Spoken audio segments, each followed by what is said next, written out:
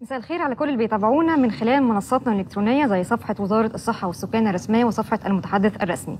الحقيقة إنه مواجهة مصر لفيروس كورونا المستجد لم يكن وليد اللحظة، بل كان بتخطيط علمي مسبق جعل التجربة المصرية فريدة يقتضي بها دول العالم. اسمحوا لي أرحب بضيفتي المميزة معالي الوزيرة الدكتورة هالة زايد وزيرة الصحة والسكان. معالي الوزيرة برحب بحضرتك. أهلا بيك. آه، في البداية يا فندم يعني وإحنا شاهدنا مع حضرتك الويبينار الخاص بالتجربة المصرية آه، للتصدي لفيروس كورونا بالمشاركة مع الجمعية المصرية لأمراض الصدر والضرن. حدثينا يا فندم عن كيف استطاعت مصر مواجهة فيروس كورونا المستجد. الحقيقة الويبينار ده فيه أكتر من 10000 مشارك من كل أنحاء العالم. الويبينار آه، نظمته اللجنة العلمية لل- آه، لمواجهة فيروس الكورونا في وزارة الصحة. وهي لجنة شكلناها من أول يوم بقرار وزاري.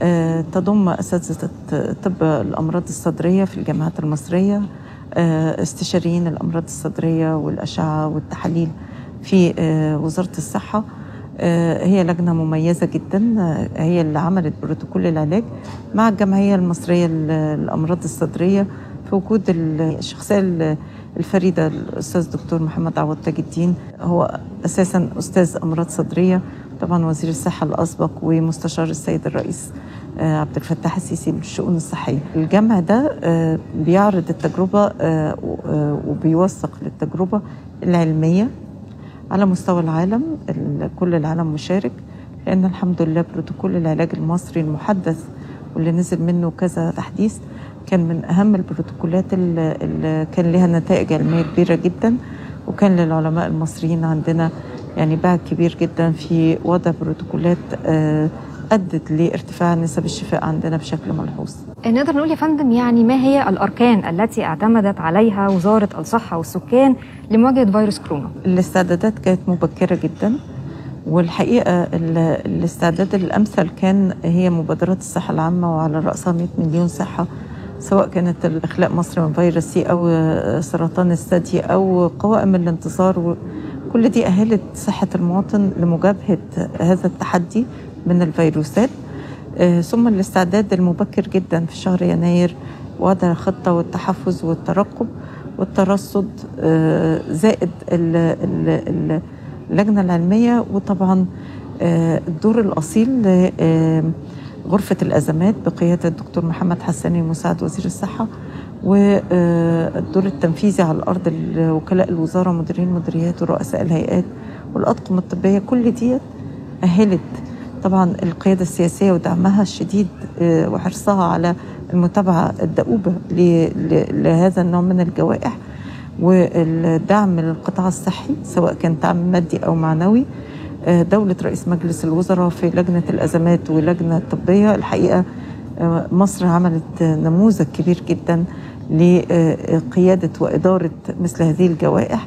أدى لانخفاض الأعداد الحمد لله. ونتمنى أن المواطن يبقي على الإجراءات الاحترازية بكل شدتها علشان نتجاوز الفترة الجاية. حضرتك كثيرا ما تتحدثي عن دعم القيادة السياسية.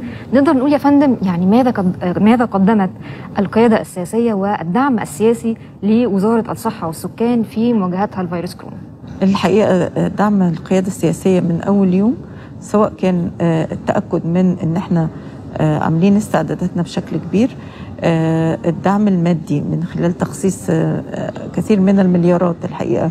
آه، يعني كان في 100 مليار جزء منهم كبير آه، جزء مش قليل للقطاع الصحي. الدعم إن في لجنة أزمات ولجنة طبية منعقدة بقيادة دولة رئيس مجلس الوزراء بشكل دائم. العمل مع الوزراء والشركاء كل الوزارات اشتغلنا مع كل الوزارات الحقيقة اشتغلنا كلنا في إدارة الأزمة. آه، الشركاء آه، منظمة الصحة العالمية. طبعا مش عايزة أنسى القطاع الخاص ودوره يعني آه، رجال اعمال متبرعين و- ودورهم الكبير جدا اللي خفف كثير من الأزمة.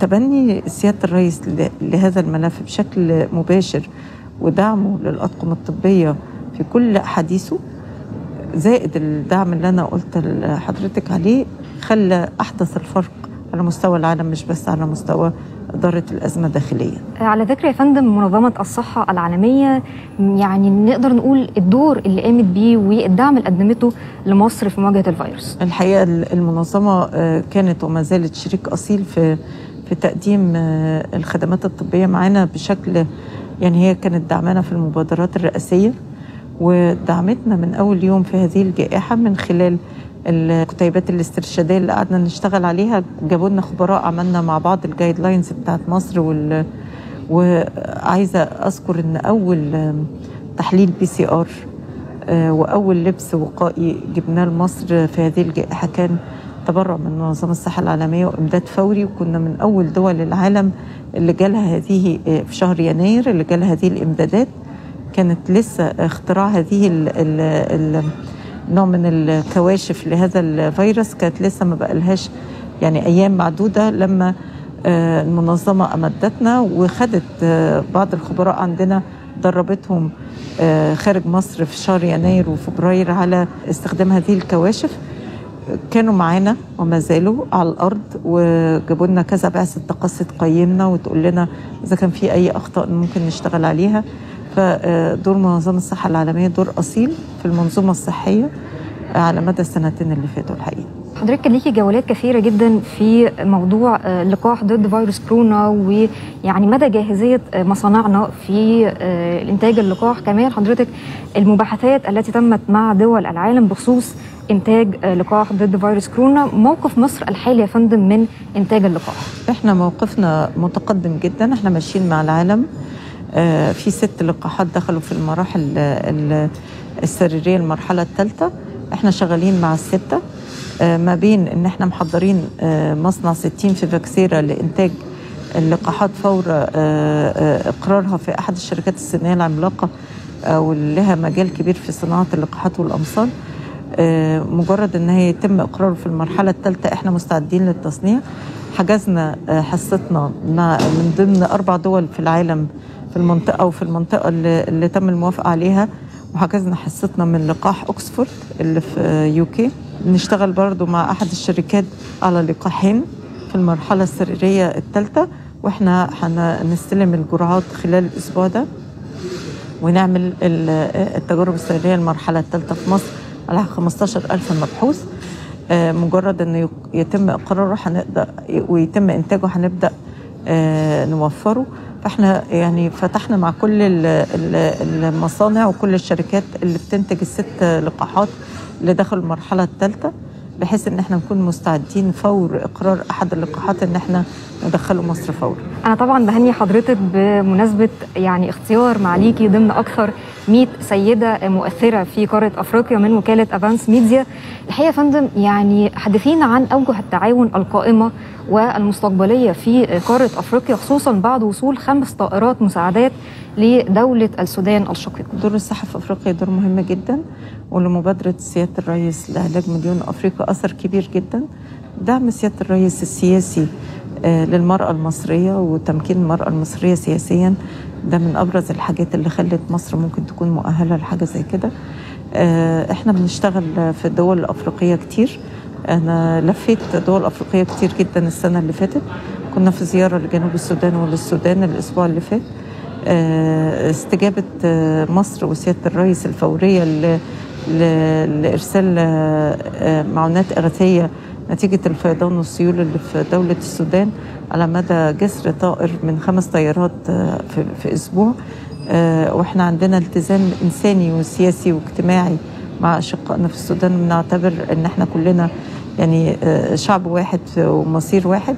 برضو أشقائنا في جنوب السودان والمركز الطبي المصري ومركز غسيل كلوي في جنوب السودان زائد مبادرة 100 مليون صحة وعلاج مليون أفريقي. إحنا خلال الفترة الجاية هنمد السودان بعلاج 250 ألف سوداني من أدوية علاج فيروس سي والأجهزة المعملية للكشف عن المرض وتدريب أشقائنا في السودان.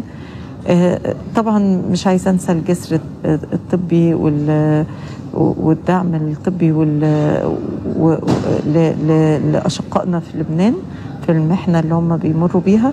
وكنا من أوائل الدول العالم اللي استجابت من غير من حتى أي نداء. الحقيقة كان في استباقية من القيادة السياسية إن إحنا ندعم أشقائنا في السودان بطائرات محملة بكافة الاحتياجات الطبية والغذائية.